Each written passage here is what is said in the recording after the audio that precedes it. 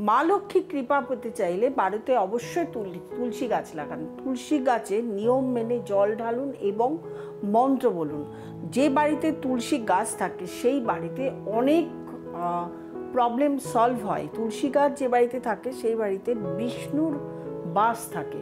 তুলসী গাছে প্রত্যেক দিন যখন জল ঢালবেন, অবশ্যই স্নান করে শুদ্ধ বস্ত্র ঢালবেন তুলসী গাছে কখনোই রবিবার দিন এবং একাদশীর দিন জল ঢালবেন না।